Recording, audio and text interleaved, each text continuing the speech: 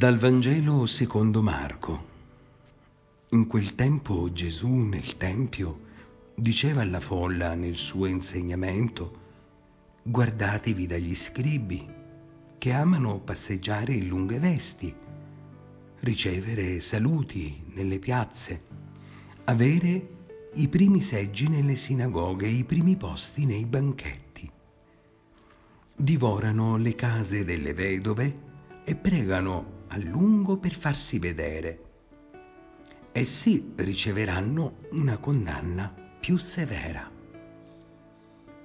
Seduto di fronte al tesoro, osservava come la folla vi gettava monete.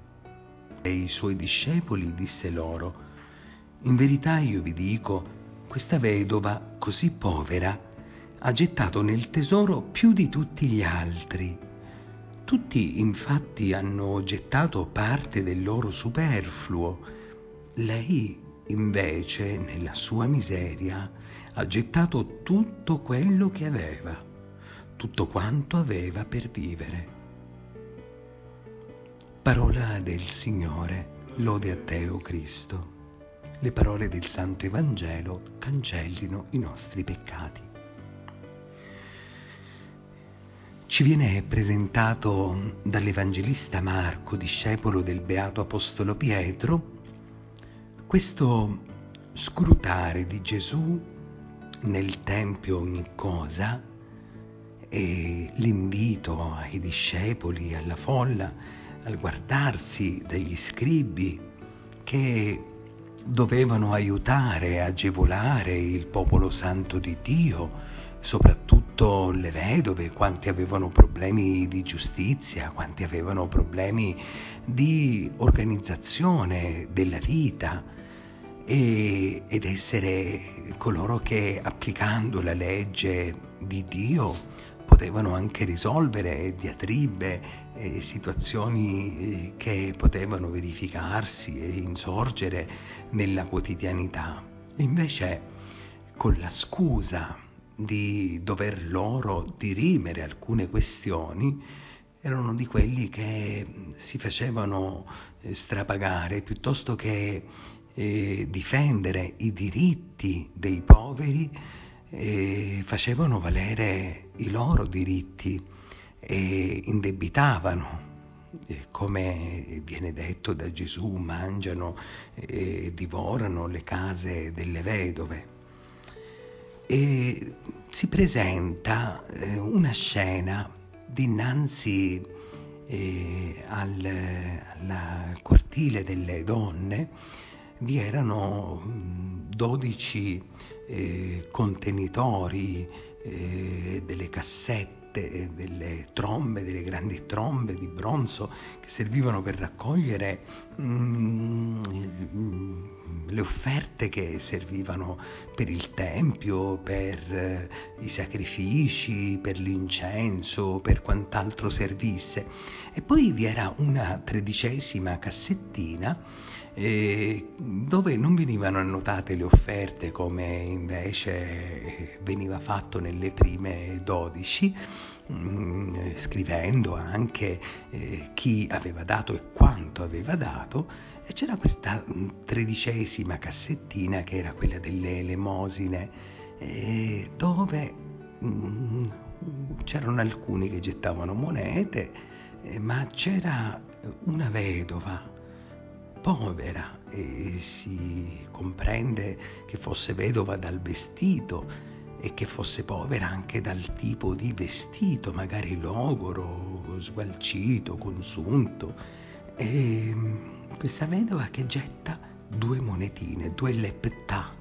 Erano, mm, e annota l'Evangelista Marco, fanno un soldo, fanno un quadrante, che era praticamente l'equivalente di decimo di quella che poteva essere una pagnottina che poteva servire per eh, alimentare magari quattro persone in famiglia. Quindi mm, una mezza porzione di pane mm, che poteva bastare per una persona, due o tre fettine di pane diremmo noi oggi, quello era il, la, la dote quotidiana per non morire quantomeno era quanto aveva per vivere quella vedova. Ed è un po' emblematico questo perché la vedova doveva essere mantenuta dal Tempio, invece quella donna da quella parte che poteva servire per vivere lei per il Tempio. Da sempre la Chiesa ha visto e ha sottolineato la generosità di questa vedova così povera che dona tutto. Eh, anzi, è importante comprendere che per eh, la legge bisognava dare la decima, ed era obbligatoria la decima, decima parte di quanto si guadagnava, ma ehm, se proprio una persona era zelantissima poteva dare la ventesima parte di ciò che, o meglio la, la quinta parte, quindi il 20% di ciò che aveva guadagnato e in più poteva magari riservare una ventesima parte come elemosine extra. E, ma non potevano fare di più, non si poteva fare di più, era proibito proprio anche dalla legge dalla legge mosaica, dalla legge farisaica. Questa donna dà tutto, tutto quello che aveva. Da sempre, dicevo, la Chiesa ha visto la grande generosità di questa donna e l'ha posta come un esempio. E ci può stare, sì, perché Dio ci chiede eh, condividere con generosità tutta la nostra vita anche il marito e la moglie che scelgono di sposarsi dinanzi all'altare del Signore e compiono quel patto, quel giuramento, quel sacramento di amore, eh, non danno una parte della vita, ma tutta la vita. E così come un consacrato, una consacrata, un sacerdote, una suora, un missionario, un religioso, una religiosa, una missionaria, danno tutta la vita si dà una parte di tempo, non è un impiego, non è un ufficio, non è un servizio a tempo determinato, ma è dare tutto se stessi, non una parte. E Dio si attende questa generosità da noi che deve partire proprio dal cuore, non è richiesta, è la spontaneità. E quando si incontra Dio realmente nella propria vita, lo abbiamo visto con eh, Zaccheo, ecco io do la metà dei miei beni ai poveri, dal 50% ai poveri, qualcosa di straordinario. Quando Gesù tocca le nostre vite, le nostre vite vengono stravolte e chiaramente in positivo. Voglia il Signore toccare i nostri cuori.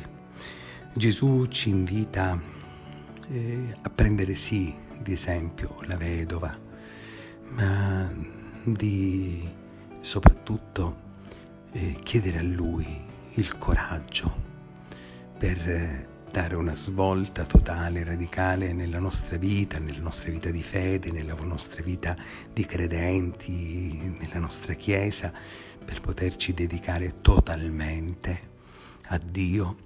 E casomai finora questo non fosse stato compiuto da parte nostra o da parte di chi come credente si è magari accontentato di dare quello spicciolo, eh, quel poco tempo, magari quella mezz'oretta, tre quarti d'ora di messa domenicale e questo magari eh, ci metteva a posto la coscienza e ci faceva ancora dire che eh, fossimo cristiani autentici, ecco rivalutare i criteri, essere cristiani eh, significa far trasparire Cristo da noi in ogni istante della nostra vita, essere credenti e sì aver fatto una scelta di fede, ma l'essere credibili come direbbe il beato eh, giudice Rosario Angelo Livatino, è molto di più che essere credenti, essere credibili significa